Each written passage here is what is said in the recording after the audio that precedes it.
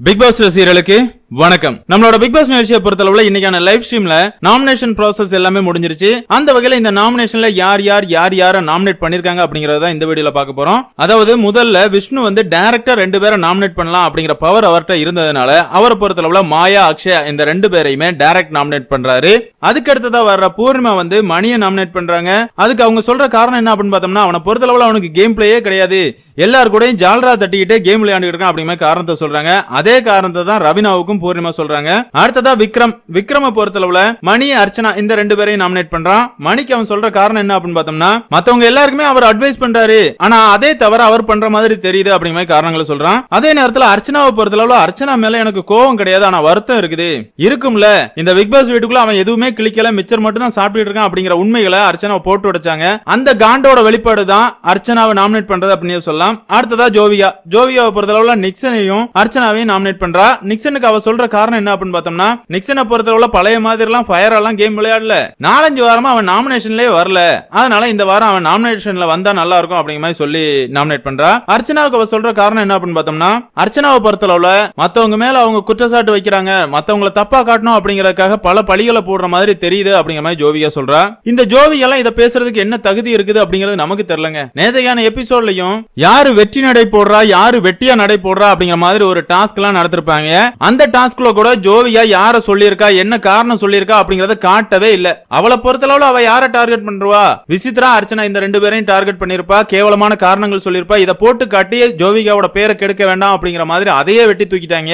அந்த அளவு ஜோவியாவுக்கு சொம்பு தூக்கிட்டு இருக்காங்க. விஜய் டிவியா இருக்கட்டும் கமலா இருக்கட்டும். சரி அடுத்ததா பிராவோ வர்றாரு. பிராவோ பொறுத்தளவுல அர்ச்சனா மணி இந்த ரெண்டு பேரையும் நாமினேட் பண்றாரு. அதாவது அர்ச்சனா வந்து விசித்ராவோட வாய்ஸா தான் செயல்படுறாங்க. நன்றி கடனை தீக்கணும் அப்படிங்கிறதுக்காக விசித்ராவோட கேம் அர்ச்சனா விளையாடுற மாதிரி இருக்குது அப்படிங்கிற மாதிரி பிராவோ சொல்றான். இந்த வீட்டுல ஜால்ரா அடிக்கிறத மட்டும் தான் வேலையா வச்சிருக்க. நீ எல்லாம் அர்ச்சனாவை குறை சொல்றியாடா அப்படிங்கிற மாதிரி தான் இருந்துச்சு. மணிக்கு என்ன காரணம் சொல்றாரு அப்படின்னு பார்த்தோம்னா தன்னை காப்பாத்திக்கணும் அப்படிங்கிறதுக்காக ஒரு கேம் பிளே பண்றாரு. இப்பதான் வாய்ஸ் அவுட் பண்றாரு. இப்பதான் கேள்வியே கேட்க தொடங்குறாரு. இதெல்லாம் பார்க்கும்போது அவருக்குள்ள பயம் வந்துருச்சு. அதனாலதான் கேள்வி கேட்கிறாரு அப்படிங்கிற மாதிரி காரணத்தை சொல்லிட்டு இருக்காரு. அடுத்ததா விசித்ரா. விசித்ராவை பொறுத்தளவுல மணி ரவினா இந்த ரெண்டு பேரையும் நாமினேட் பண்றாங்க. இவங்க ரெண்டு பேருக்கும் சொல்ற காரணம் என்ன அப்படின்னு பார்த்தோம்னா அவங்க நேர்மையா கேம் விளையாடல. சில்வர் டாஸ்க்ல கூட என்கிட்ட நாமினேட் பண்றதா சொன்ன பேர் வேற. ஆனா பிறகு எல்லாரும் முன்னாடியும் சொன்ன பேர் வேற. அந்த வகையில அவங்க ஒரு சேஃப் கேம் விளையாடுறாங்க அப்படி மாதிரி சொல்றாங்க. உண்மையை சொல்லணும் அப்படின்னு பார்த்தோம்னா ரவினாவை பொறுத்தளவுல இந்த பிக் பாஸ் வீட்டுல இருக்கிற மிகப்பெரிய விஷ பாட்டில் விஷ ஜந்து அப்படின்னே சொல்லலாம். ஆம்பளை பொறுக்கினையும் சொல்லலாம். அவளை பொறுத்தளவுல படு கேவலமா கேம் விளையாண்டுட்டு இருக்கா. அங்கே எங்கேயும் கோழி மோட்டி கொளுத்தி விடுறத மட்டும் தான் வேலையை வச்சிருக்கா. அந்த வகையில விசித்ரா சொன்ன காரணங்கள் ஏற்புடையது அப்படின்னு சொல்லலாம். அந்த வகையில பார்த்தோம் அப்படின்னா ஸ்மால் பாஸ் வீட்ல இருந்து நாமினேட் செய்யப்பட்ட நபர்கள் மணி மணிக்கு நாலு வாக்குகள் கிடைச்சிருக்கு. அர்ச்சனாவுக்கு மூணு வாக்குகள் ரவினா ரெண்டு வாக்குகள். இப்படி இந்த மூணு பேருமே ஸ்மால் பாஸ் வீட்டாரால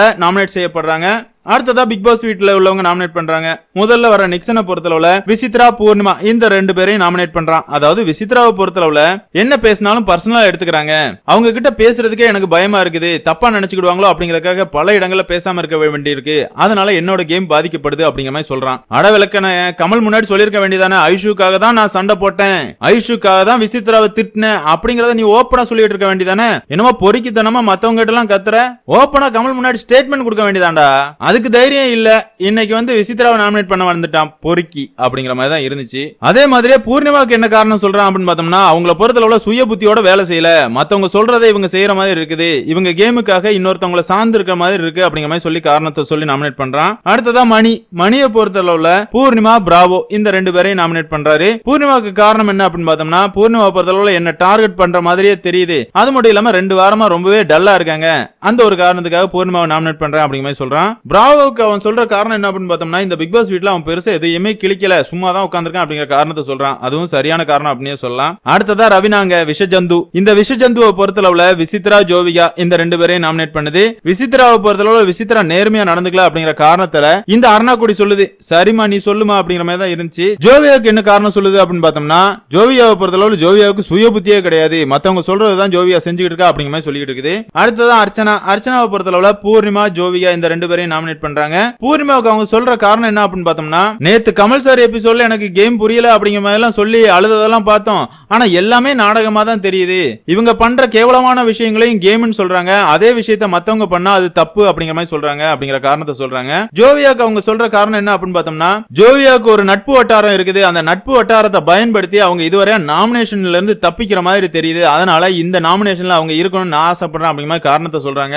இருந்தாலும் இந்த இடத்துல பிக் பாஸ் பொறுத்தளவுல காரணம் சரி சரியில்லை இன்னொரு வாட்டி ஜோவியாவுக்கு காரணம் சொல்லுங்க அப்படிங்கிற மாதிரி கேட்கிறாரு அர்ச்சனாவை பொறுத்தளவுல அதே காரணத்தை தான் சொல்றாங்க. அதாவது பிக் பாஸ் டீமை பொறுத்தளவுல ஜோவியா ரொம்பவே நல்லவ. ஜோவியாவை டார்கெட் பண்றாங்க அப்படிங்கிற மாதிரி காட்டுறதுக்கு முயற்சி பண்றானுங்க போல. எப்பா வாய்ப்பு இல்லப்பா. நேத்து கூட கமல் எபிசோட்ல ஜோவியா பஜாரி மாதிரி தான் விசித்ரா கிட்ட கத்திக்கிட்டு இருந்தா. நாங்க எல்லாத்தையும் பார்க்க தானே செய்யறோம் ஜோவியாவை பொறுத்தளவுல அதெல்லாம் திருந்தாத ஜென்மம். வனிதா பொண்ணு வேற எப்படிங்க இருக்க போகுது? வனிதாவை மாதிரி தான் பேசும் வனிதாவை மாதிரி தான் நடந்துக்கணும். நீங்க என்னதான் நல்லதா காட்டணும்னு நினைச்சாலும் அதெல்லாம் முடியாது ராசா அப்படிங்கிற மாதிரி தான் அவரோட செயல் இருக்கு அப்படின்னு சொல்லலாம். அடுத்ததான் அக்ஷயா அக்ஷயாவை பொறுத்தளவுல அக்ஷயாவும் விசித்ரா பிராவோ இந்த ரெண்டு பேரையும் நாமினேட் பண்றா. அதாவது விசித்ரா வந்து போலியா இருக்கிறாங்களாம். பிராவோவை பொறுத்தளவுல சேஃப் கேம் ஆடுறாராம். இவங்க ரெண்டு பேராவது கேமாவது ஆடுறாங்க. அக்ஷயா நீ என்னமா கிழிச்சுக்கிட்டு இருக்க அப்படின்னு கேட்கணும் போல இருந்துச்சு. அடுத்ததா தினேஷ். தினேஷை பொறுத்தளவுல தினேஷ் வந்து பூர்ணிமா விசித்ரா இந்த ரெண்டு பேரையும் நாமினேட் பண்றான். விசித்ராவுக்கு இவன் சொல்ற காரணம் என்ன அப்படின்னு பார்த்தோம்னா எல்லாருக்கும் நிறைய அட்வைஸ் பண்றாங்க. ஆனா அதன்படி விசித்ராவே நடந்துக்கிட மாட்டாங்க அப்படிங்கிற மாதிரி காரணத்தை சொல்றான். பூர்ணிமாவுக்கு அவன் சொல்ற காரணம் என்ன அப்படின்னு பார்த்தோம்னா பூர்ணிமா பொறுத்தளவுல தனியா கேம் விளையாண்டுக்கிடவே மாட்டா. அவளை பொறுத்தளவுல யாராவது ஒரு ஆள் துணைக்கு இருந்தா தான் அவளோட கேமே இருக்குது. அதனாலதான் இந்த வாட்டி நான் ஸ்மால் பாஸ் வீட்டில் அவளை பிரிச்சே போட்டுருங்க அப்படிங்கிற மாதிரி காரணத்தை சொல்லிட்டு இருக்கான். இவன் என்னத்தை கிளிக்கிறானா இவனை பொறுத்தளவுல எதிரிகள் எல்லாரையும் கூட வச்சுக்கணும் அப்படிங்கிறதுக்காக விசித்ராவுக்கு எதிராக யாரெல்லாம் கூப்பிடுறாங்களோ அவங்களுக்கு ஜால்ரா தூக்கிக்கிட்டு அந்த டீம்ல அதாவது குள்ளநெறி கூட்டத்துக்கு தலைவனா மாறி இருக்கான் அப்படின்னு சொல்லலாம். அடுத்ததா மாயாங்க. மாயாவை பொறுத்தளவுல விஷ்ணு பிராவோ இந்த ரெண்டு பேரையும் நாமினேட் பண்றா. விஷ்ணுக்கு அவ சொல்ற காரணம் என்ன அப்படின்னு பார்த்தோம்னா பல நாள் திருடன் ஒரு நாள் அகப்படுவான். அந்த கதை தான் விஷ்ணுவுக்கு பொருந்தும். விஷ்ணுவை பொறுத்தளவுல அவன் எல்லா கேவலமான வேலையும் பண்றான். பண்ணிட்டு நான் நல்லவன் அப்படிங்கிற மாதிரி போலியான வேஷம் போட்டுக்கிட்டு இருக்கான். அவனோட வேஷமும் ஒரு நாள் கலையும் அப்படிங்கிற மாதிரி காரணங்களை சொல்றாங்க. பிராவோவை பொறுத்தளவுல எல்லாரும் சொல்ற மாதிரி தான் பிராவோ கேமே விளையாடல அப்படிங்கிற காரணத்தை சொல்றாங்க. கடைசியா கூல் சுரேஷ் கூல் சுரேஷை பொறுத்தளவுல பிராவோ விக்ரம் இந்த ரெண்டு பேரையும் நாமினேட் பண்றாரு. ரெண்டு பேருக்கும் ஒரே காரணம் தான் வெரி வெரி போரிங் கண்டஸ்டன்ட் ஒண்ணுமே பண்ணல சும்மாவே உட்கார்ந்துட்டு இருக்கானுங்க அப்படிங்கிற காரணத்தை சொல்றாரு. கூல் சுரேஷ் சொன்னது ரொம்பவே சரியான கருத்து அப்படின்னு சொல்லலாம். அந்த வகையில இந்த வாரம் யாரெல்லாம் நாமினேட் செய்யப்பட்டிருக்காங்க அப்படின்னு பார்த்தோம்னா மாயா அக்ஷயா விசித்ரா பிராவோ பூர்ணிமா மணி அர்ச்சனா ரவினா. இந்த எட்டு பேர் நாமினேஷன் லிஸ்ட்ல வந்திருக்காங்க.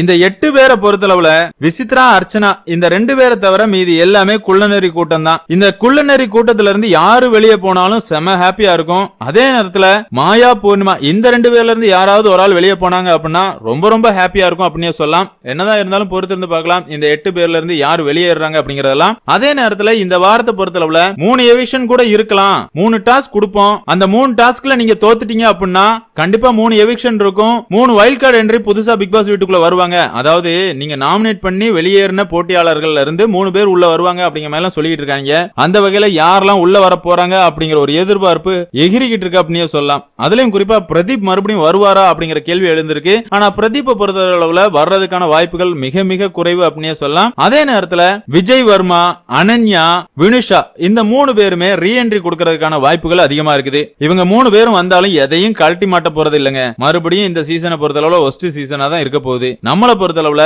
பிரதீப் உள்ள வந்தா மாசா இருக்கும் அப்படிங்கறது தான் நம்மளோட கருத்து. எதுக்காக அப்படின்னு பார்த்தோம்னா அவர் எந்த தப்புமே பண்ணலன்னு சொல்ல வரல. ஆனா இவங்க போட்ட பழி ரொம்பவே தவறானது. பெண்களுக்கு எதிராக அவர் அப்படி ஒண்ணும் கேவலமா நடந்துக்கல.